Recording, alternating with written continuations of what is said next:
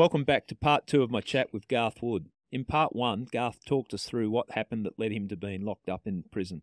Now we're going to talk about the impact on not just Garth, but also his family, his experience in prison, and hopefully the lessons that he's learnt from those experiences. Welcome back, Garth. Thanks, mate. Appreciate your honesty. It's not an easy easy subject. Yeah, it isn't. But, um, it's true as it can be. You know, Yeah. jail doesn't hide nothing. Everyone gets caught out in there, and emotions are thrown up and down. And uh, yeah, I think families are the ones that suffer. Yeah. Uh, Speak, speaking on on family, uh, your old man uh, reached out to me through uh, Johnny Lewis Yep. when you were inside just after you got locked up, and he wanted to uh, catch up for a coffee. And uh, I'm not sure if he told you, but um, I, I I met him a couple couple of times after and talking about what you're going through, and he, he just wanted to get my take on it, Yep. having having seen the uh, seen, seen the system Look at Fred. was was a pleasure. Yeah, it's uh, I I've known you. I I was shocked and disappointed when I heard that uh, you got locked up. Disappointed for you, and that I thought that life was heading in the right direction. And I, I'd met your uh, I'd met your father and your uh, your your mother before, and they're they're great people, and uh, I I really enjoy their company. But um, so Johnny uh, set up a meeting with your your dad, and uh, we had a uh, sat down, had a coffee, and what surprised me was how broken he appeared to be. Yeah. Like, and it was, yeah, we, we talked about what you're going through and, and all that. And yeah, the genuine concern of the father, like Barry would have, have for his son being in prison. And it was killing him, I think, because he's a, he's a tough, you know, Yeah, he's a tough man. tough guy. And, uh, yeah, he, he's a person that would sort things out himself. But this is where Yeah, he, he doesn't show many emotions. Even I could hear it in his voice on the phone calls inside, and especially when I got. yeah, there was a time when I was at Cessnock, and they did the video. Yeah. Court could see him, and that that's what broke my heart. And I had to go back to the cell and just constantly thinking about him, worrying and panicking. Yeah. When I must have aged him that much in the in the space of four months when I was inside, that really took a big toll on me, and uh, I owe him and mum big time, Yeah. and I'll never put him in that situation again. Yeah, because I, I, I, I saw the impact and uh, and Johnny for that matter too. Yeah, like he, he cares for him. There's a lot of Yeah, people that He's a uh, second father to many men, but yeah, especially like another father. He's as well. yeah, and I, I could see both of them and, and the advice I gave, not that it was much help, but I, I, I said to Barry, just make sure you look after yourself because uh, yeah, the worst thing Garth would feel is if something happened to you. Why uh, why That's exactly what was going through my head every day I woke up. Yeah. Yeah. And we, we also said, and, and this was another part of the conversation, uh, and this was sort of coming coming from me, and I said, look, this is a low point, but perhaps it might be the wake up call that you, you need. Like you you're sort of skirting around the edges, and uh, you've fallen off a cliff here, and that might have been the wake up wake up call. Well, mate, it was exactly that. Um, when I got to really find, or I wouldn't say find a home in jail, but you know, make the most of it and just, well, I could be here. You know, the sad thing was, the more I got talking to the, the barristers, and I don't on that, you can't believe everything they say. But they reckon the prosecutors were gunning for me. They really wanted to make an example of me, and they'll they'll ask him for six years. And what, what I could not imagine any of that. Maybe the lawyer was talking it up, trying to pump his own tires up, but he got me off. You know, you just don't know what to believe of the system and how I was just never been convicted and thrown straight to jail, and then they really wanted to go on with it. So looking back, I would count my blessings, my count, count my lucky stars, but um, yeah, just the, the torment that I put mum and dad through, and my girl and my kids. I even I missed my my eldest's debut with the NRLW, which is a big thing for me because we're Yeah. a very sport sporty family, and she's a good competitor and she's an athlete in herself. And the fact that I wasn't, and I rung her one day from I was Parklea because uh, the comp was starting, and she goes, "Oh, you ring me at all the right times." And I said, "What do you mean?" And she said, uh, "Signing a contract with the Roosters." So Yeah, just like now, when I'm getting a bit teary-eyed, I had a moment inside and had a cry. So had a big toll on me not being there because I'm a dad and I'm a protector. Yeah, so you don't really understand who who is who's actually suffering. You know, you think, yeah, it's quite selfish. I don't know. It's it's hard to get away from the guy. You know I mean, That that's that's uh, the confusing or conflicting part, isn't it? It's all about protecting protecting family, and and I get that. And then you've done what you consider is yeah, standing up for people that uh, you you love, and then you're hurting the people that you love because of your actions. Yeah, so it- exactly. it's a it's a difficult one. When your family came out to visit you in prison, who who was the first one that came out to see you? I think it was my brother. Yeah. it was my brother, Parklea, and it was embarrassing. Yeah. you're in uh, a jumpsuit, Dunlop volleys. You're actually sitting in uh, like so before you go into the cell. Oh, not the cell, the visit room. Everyone's in this little cell. Thirty-five blokes, full of bo, ego, bravado. Yeah.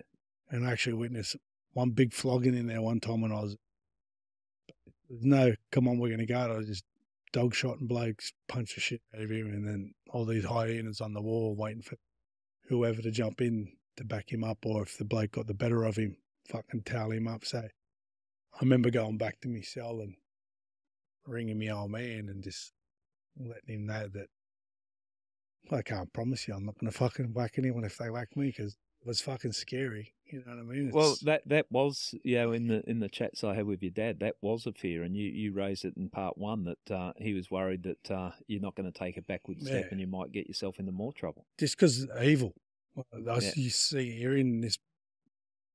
It wouldn't be much bigger than this room, and there's thirty blokes to get in this holding cell before they go to visit everyone, and everything's reputation. And don't let this bloke look at you, bump into me, or maybe you got a someone's got a beef, someone you know outside, or they've had a phone call. Everyone's so what's the word sensitive. You mm. don't. They just just spoke to their missus and she's not talking to situation. him. One little bump and it's, it's kicking off. Yeah. So it's very eerie feeling. I remember I was sitting in the wall all the time, just waiting for someone to bump me, and didn't happen. But you know, there's a big chance that it could just kick off. Here. Someone could have a stab you or Yeah, hit you from behind and then jump on your head. living in it- living in that environment, you're going to change too. If you spend too long in that environment, for sure. I, I, you become that. Uh, you got to be That uh, uh, beast. yeah, uh, alert for anything, any time. Yeah. Um, Nathan coming in there must have been hard for him. Yeah, Yeah, it uh, was. Your brother in, inside, and he, he's a tough guy. And he, yeah, the big brother and just asking me, is anyone, what's going on? And I said, you know, it's funnily enough, nothing's happening. They put me to head sweeper, or one of the sweepers, and the, I was blessed to be put into that pod. It was a working pod where I think there was much drug addiction. Everyone that was in the pod was more or less knew how to serve their time and make sure that they stayed, how do you put it, you know, on the right path Yeah. to doing time. You know. Isolation can either bend you over and fuck you, or if you can make the most of it and do your time proper, uh, you can stay unharmed, more or less. But it's so difficult. Like I said, people sensitive to what's going in and outside of jail. They've probably had a bad phone call with their mum or their missus, and things just kick off. Yeah. It's not so much what's going through your head; it's everyone around you as well. people around you. It is a volatile uh, situation. Yeah. First time your parents came in to see you. Dad didn't come for a while, which I understood. He couldn't deal with looking at me. Yeah. Now I'm sure that's what I was going through. I think the first time mum and dad come was I got moved to Cessnock. Yeah. Which that was the Bronx. I Talk us mean. Parklea was Parklea was more heavy drug addiction, mental, from what I saw. Because when I went the pod, it was just most of the people in the working pod were pretty clean, and the fact that I was a sweeper there, a little bit of royalties, you know, look after the food, put in rooms, the screw, more or less, not favoured you, but you get a little bit more say. Yeah. They come out and this and that. By the time they must have heard one of the phone calls over me dad when I come back from I saw one what happened kicked off in that holding cell before before I visit and I just said to him, Oh, keep asking me not to do anything. He said, I said something like, "You don't know what the fuck I'm going through here." I said, "If I have to whack someone, I will. Well. I'm not going to end up a veggie. Someone's going to jump on me fucking head, like I just saw a bloke happen just then."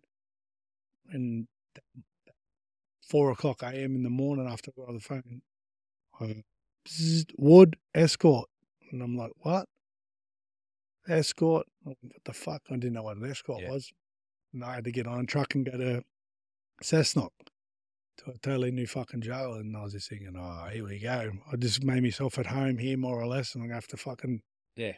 start from scratch again and fucking prove myself or just stick to myself and train and this and, and same thing sort of fucking happened. It took me a week. You start when you go to Cessnock, you start on the ground level with another person inmate where I wasn't with an inmate at Cessnock. I had my own private fucking space.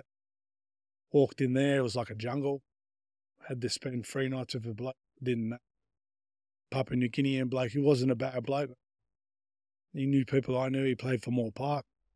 Then you go from the ground level to the top level.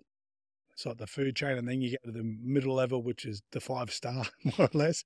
Yeah. Who knows if it's five star there, but you got to start from scratch again and prove yourself. And then the screws get to know who you are and you try and say, Can I get in a cell by myself? It finally happened.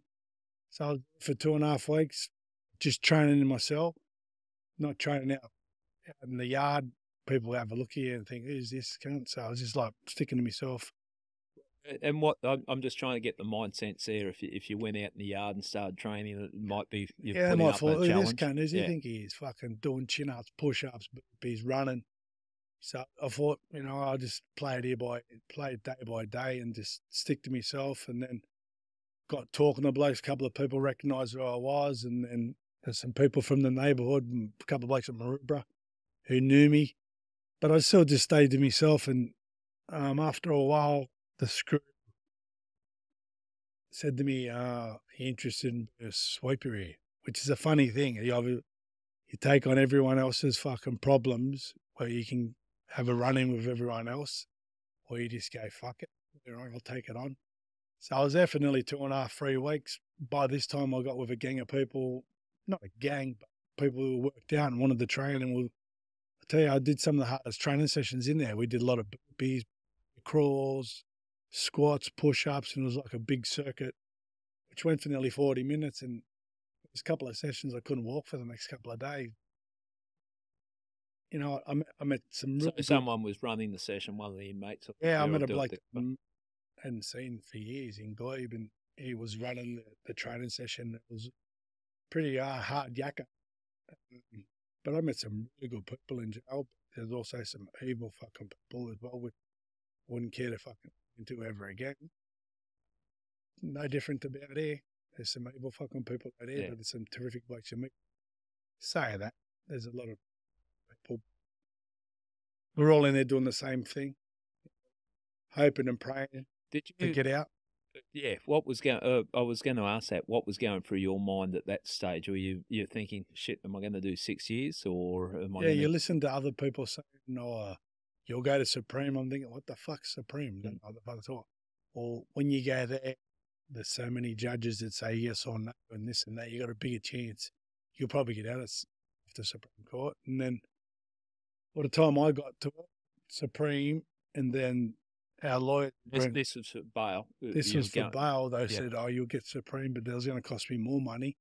And then they'd said, "Oh, they've brought it forward, the actual um,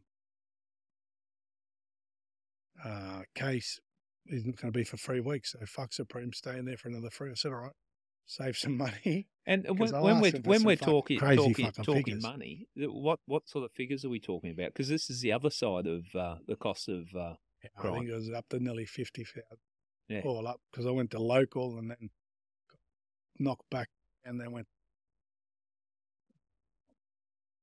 Downing Centre, got knocked back there, and then we were going for Supreme. that money just goes down the dark hole, Yeah, doesn't it? Don't know how to play your desperation. The whole system is a fucking. And uh, I haven't been involved in or got pinched that many times. This was my first thing. I'm sure you know. There's other people who can tell you the hurdles that they've gone through and the amounts of money that I- I themselves- I don't think people appreciate, yeah, defending cases. You, you can throw away a quarter of a million dollars quite easily. and Yep. you're you're just talking about fifty thousand. You're trying to get out on bail.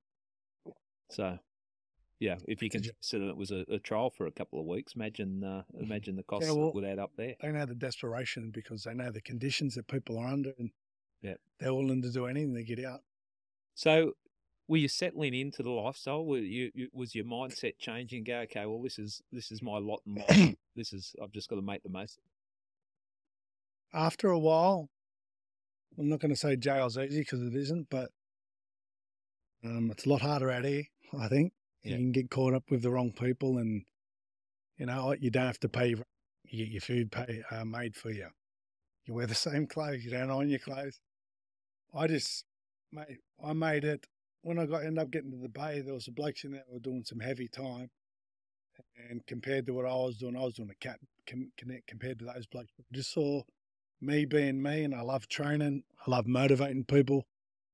I got them, and we started. Oh, they started feeding off me in the fact that I was you know, my funny character, and I, I put little. I put We, we haven't we haven't tested that side. You no, you look- wouldn't think I was. I'd think the next. Uh, you've you've got the best impersonations of people I've ever heard. But we we trained the house down, and I started motivating them. So, all right, we got a challenge. Friday session was the fuck me up session where you really had to push yourself. And by that time, my daughter Mia was playing for the uh, Roosters, so I had to really push myself to limits to try and give it the spirit to give, make sure that she had a big game. So I let everyone know that you know we're gonna, we're gonna train our ass off Fridays. Your ass is hanging out your pants if you don't push yourself fuck is you aren't training with me, this and that. So everyone had to come to the fuck fuck me up session Friday. is that is that what you? That's what we called it. Yeah. Yeah. So, and because you weren't allowed to have any any weights or anything in there, it was always, um, what, what we were doing, we were doing like beast push ups, chin ups, run and lap. Some fits that we were doing um, was all calisthenics and that. Yeah, blokes were vomiting. Yeah. And uh, if I if I if I couldn't put myself to the limit, I didn't think I, I thought I was doing me, um, cheating Mia out of fucking a good performance. I was, Yeah.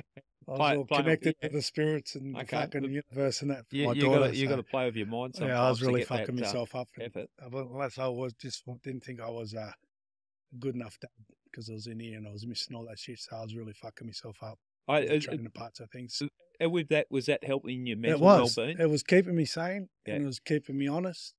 Um, and I walked in there 95, 94 kilos. I walked at 83. So he said, jail's not good for you. I've, I've put Look, 10 years of my life, I reckon. well, when I when you first got out, you looked like you're ready for a fight. It was, uh, and that's, yeah, a, that's, you were a, lean that's, a, that's Yeah. the mindset I had. That's the only thing I knew how to. When I come into a challenge in life, and most of my challenges have been in the sporting arena, football or boxing, to compare it to jail, I had to pretend I was in. Most of the time, I was in Did you you think? I would imagine for the blokes inside that, they would have enjoyed training with you. Yeah, they loved it. Yeah. Did you? Of, like, like, cause you, you know what I uh, what I really um, got to realize when I was in jail that you really just got to accept things. Meaning, they shut those gates when you get locked in at two o'clock in the afternoon. There's nothing you can do about it. So you just got to accept it, and then appreciation, appreciation that you got loved ones out there that, that are still trying to do their best to get you, and phone calls. But funny thing was the food was shit house. Would only get an orange once a week. Yeah. And I'd just savor that orange and every every piece of it. I ate. Outside when when I wasn't in jail, you didn't even look at an orange. Oh, you liked it. I just the fact that the littlest thing you can just appreciate was just let you know that it was just how humbling. Just doing time and being locked away in a cell and just appreciate did have you know anyway it's it's hard to say I think you're saying it very well there, Garth, and uh, it's interesting that you can identify that because you, you could go in there and just. My biggest concern when I heard you, you've gone in there and, and speaking to your, your your father and others that uh, yeah are close to you, was that you're going to come out bitter and go, oh stuff this, so, uh, uh, what are they doing, and just I, I'm a victim and Yeah. blame the world. And uh, to me, it looks like you've accepted. Okay, I did the wrong thing. I, in my own mind, I know why I did it, but it's uh, the wrong thing. I put my hand up to that, and you're identifying the positives that, that it's change you, change you for the better, perhaps. Well, mate, I realise that, geez, you know, well, you talk about sliding doors. One more punch, he hits his head. There's blokes in there. Never going to see that light again. Been blessed, you know, He could be here one day and gone tomorrow. So what I'm doing now, falling into a good job, second week of the job. And it's a new beginning. It's a new reset, you know, and I tell everyone that I love them, Mm. which I always really did anyway. I was quite emotional bloke, even though I'm a tough guy, but I take the time to, um, this Christmas, I wouldn't mind going away with my daughters and my girl. I'm to try and get dad to come away for a weekend too. We just need to spend a lot more time with one another. You just never know what's around the corner. Yeah, yeah. It makes you it makes you appreciate life. Sure did. You had some conversations with your family when they. Uh, I would imagine that's worry, worry, worry. They get you out there. Was there any conversations, Garth? If you ever do this to us again, Yeah, well, Baz has put it on me off the piss. If I find you're on the piss, fucking I'm not talk to you again. And I can understand. Yeah. So I wasn't pissed when I went out and sorted me sort that situation out, but you know, it was a big part of where I was mindset Yeah. leading up to it. You know what I mean? Just Well, when when when you you're on the drink, there's that potential for you to to make a, a yeah, you got a chip on your shoulder, stupid. and it's not hard to get into a fucking confrontation, Yeah, especially in a pub or Yeah. hungover. Yeah. nasty fucking whinging fucking bloke that you can be yeah, Yeah. yeah. Yeah. When when you're on and the overreacting. when you're on the piss. No, I, I know, and you, without naming them, you know the people I, I, I speak to that know know you well, and uh, all of them have said that they hope you you stay off the stay off. Yeah, No, it's a problem. No one's uh, bulletproof. Um, It's hard to socialise with today and what's going on around. Um, you got to be selfish and you got to be yeah, mature, which is slowly but surely. I'm 45 now. I'm almost there. you're, you're running out of time, Yeah. Garth. It- it's- But if you you give it a couple more decades again, don't worry, it's too late. You're never going to change. But uh, yeah, uh, hopefully it has uh, it has helped you change. So, Well, look, mate, I want to be around here for as long as I can. my daughters. I want to be a grandfather eventually, and I want to share my maturity, my my war stories about not what not to do. But uh, yeah, I just want to see my daughters and the young bloke Harley grow as uh, adults and their children and me, just like my dad. Give my words of wisdom. yeah, yeah, bec- become that uh, good role model. Yeah. you you want to. You're working now, and uh, you you're doing some. Uh, uh, we were going to catch up on um, Monday night, but uh, I, I would have loved to come sing your Yeah, show. we're, we're doing a doing a show. Jeff as well. yeah, invited along to, and uh, I was saying I, I thought it was good that you didn't turn up, that you you had the job because it would have been easy to go. Oh, Yeah. can we change the shift? And you said no, work comes first. In the thought, well, past, I very easily have a day off, but um, uh, job where I'm at now, it's a pretty good coin. I'm working afternoon shift, Yeah. labouring. Mate, yeah, I'm loving the fact that I've got money in my pocket and I'm providing. Yeah. A bit of a bill to pay for Bazza too. he's he's sorted me out.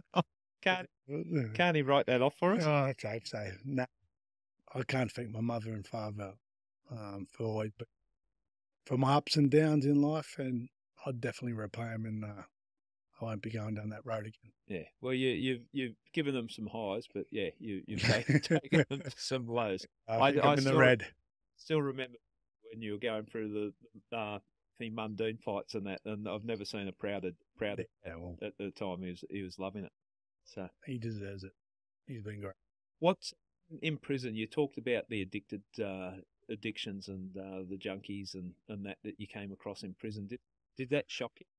The Yeah, extent it did. it? I remember. Um, I think there were seven blokes in Parklea. Yeah. who were all on the heavy shit, and they all shit the syringe.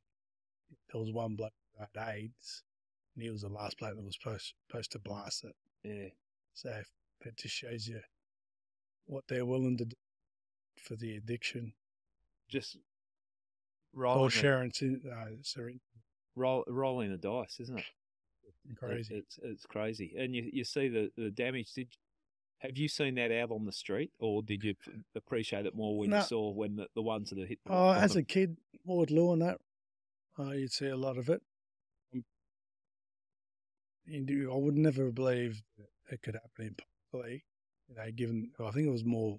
It's no no, no longer privatised. yeah, I yeah. think it was just write your own ticket, whatever you want in there, and nothing was actually policed. So, Yeah. the extremes of drug addiction in there were fucking mind-boggling. It was fucking crazy. Right.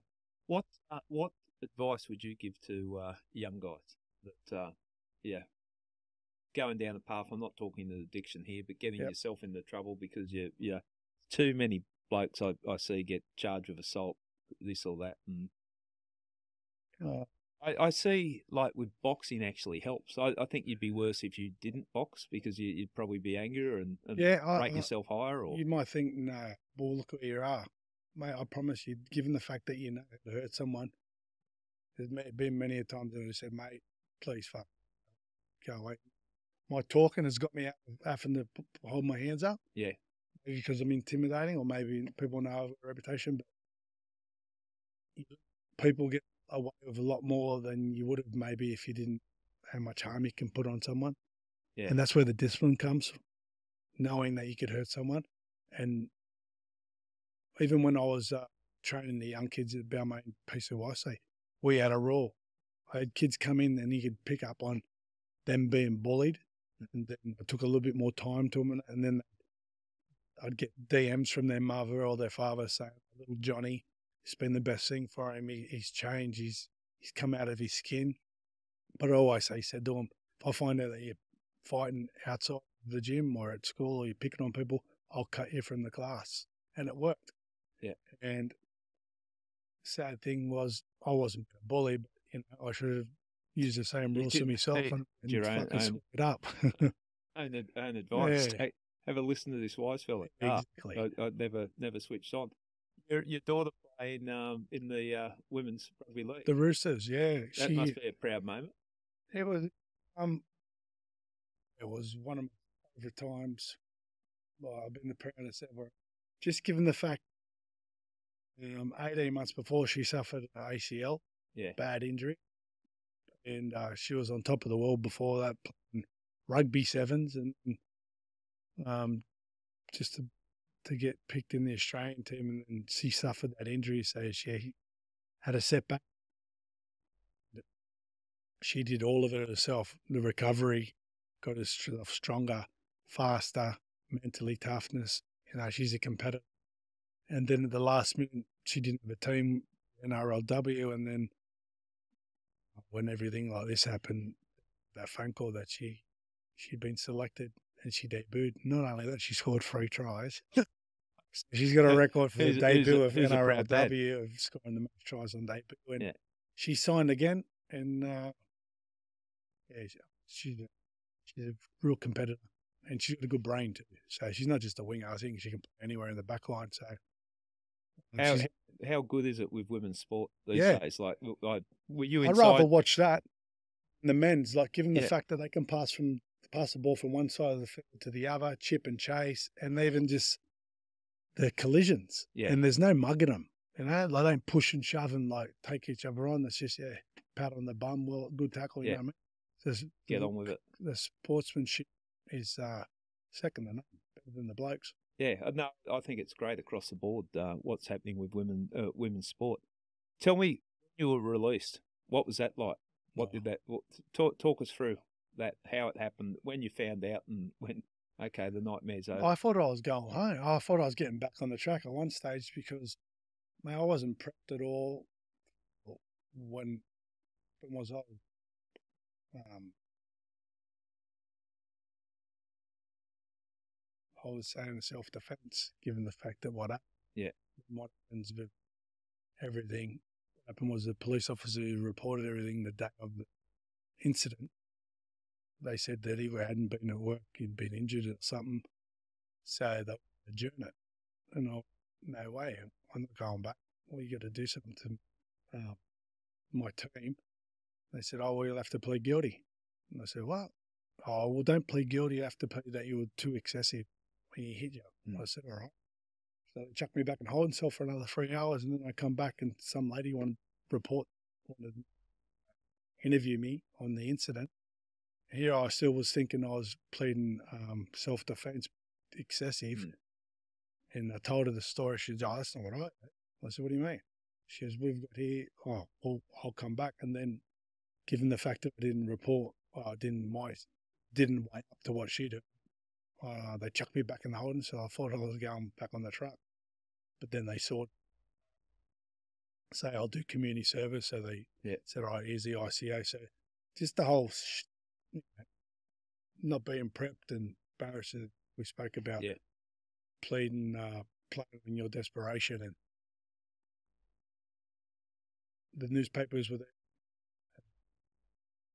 Uh, Your Honor, she talked to, to the reporters and actually the way she was saying it was like I was going back and I was going to serve. She goes, oh, maximum was six years for this and that. And the last minute, she just dressed up. She- I'm looking at mum and dad. Dad's with his hands in his hands. Yeah. I started thinking I was going back on the track. I was just, the theatre was fucking crazy.